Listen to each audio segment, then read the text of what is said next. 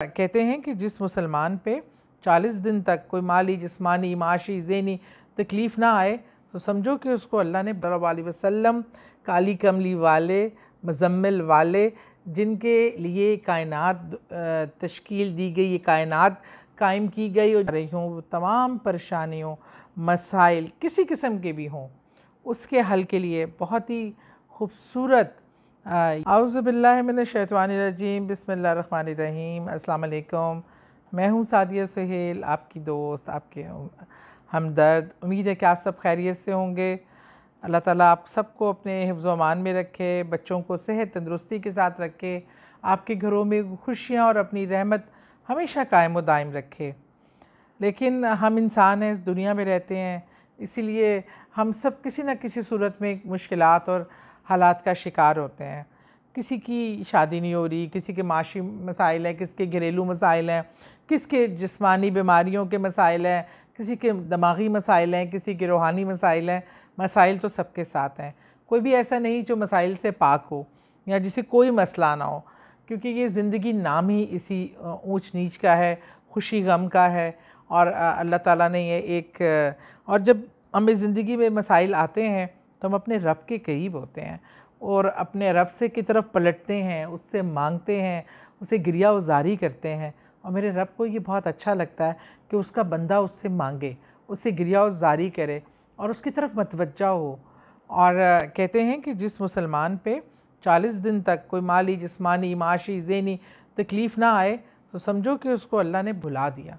तो ये तकलीफ़ से एक तो परेशान नहीं होना चाहिए, मायूस नहीं होना चाहिए। आ, ये अल्लाह की तरफ़ से आता है और शफा हर चीज़ अल्लाह की तरफ़ से ही है। और जो आपको इतनी नेमतें देता है हम उसका शिकवा तो शुक्रिया तो अदा नहीं करते लेकिन इतनी सी परेशानी आए तो हम शिकवे शिकायत लेके बैठ जाते हैं अपने रब से। हालाँकि ज़्यादातर परेशानियाँ हमारे अपने ही अमाल नामे की वजह से हम पर आती हैं। हम अपने लिए मुश्किल अपनी सेहत पर बात खुद करते हैं। अपने माशी जो मसाइल हैं हम ख़ुद गलत तरीक़ेकार अपना के हराम हलाल का फ़र्क ख़त्म करके करते हैं। रिश्तों में जो मसाइल आते हैं वो भी हमारी अपनी आदात और नेचर की वजह से आते हैं और हम उसके लिए अल्लाह के आगे शिकवे शिकायत करते हैं और अल्लाह ने जो हमें बेशुमार नेमतें दी हुई हैं हम उसका शुक्र अदा नहीं करते।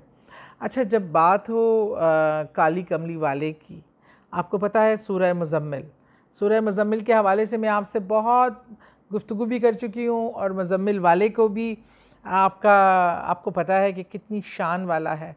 और वो वो हस्ती हैं रसूल करीम अलैहि वसल्लम, काली कमली वाले, मुजम्मिल वाले, जिनके लिए कायनात तश्कील दी गई, ये कायनात कायम की गई और जिसकी वजह से हम सारे लोग मौजूद हैं और हम खुश नसीब हैं कि हम उस पैगंबर आखिरी ज़मा सल्लल्लाहु अलैहि वसल्लम की उम्मती हैं कि वो जो आखिरत में भी रोज़ हशर भी अपनी हमारी जो है वो हमारी मगफ़रत के लिए हमारी हमारी बख्शिश के लिए दुआ गो होंगे और हम आ, उनके वसीले से अपने गुनाहों का हिसाब किताब देख के जन्नत में दाखिल हो सकेंगे। तो आज मैं जो वजीफ़ा बता रही हूँ, वो तमाम परेशानियों, मसाइल किसी किस्म के भी हों, उसके हल के लिए बहुत ही खूबसूरत ये वजीफ़ा है और और सूरह मज़म्मिल का है। इसमें खूबसूरती ये है कि आप अपने प्यारे रिश्तेदार, जो, जिनसे आपका खूनी ताल्लुक़ है, आप सब मिलकर बैठ के ये वजीफ़ा कर सकते हैं। ये हमने ग्यारह दिन ग्यारह दिन हमने ये करना है।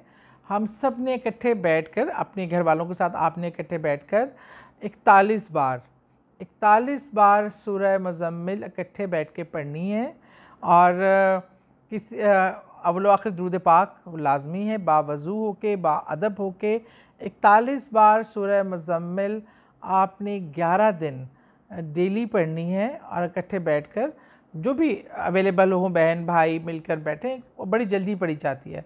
एक ही शख्स बीस बाईस बार तो पढ़ सकता है। तीन चार लोग भी हों तो बड़ी आसानी से पढ़ी जा सकती है।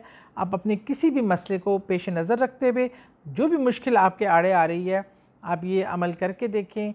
इन ताला, अल्लाह ताला, ये तो मेरा आजमाया हुआ है और इन ताला इसके नतज बहुत जल्द आपके सामने आएँगे। बहुत शुक्रिया।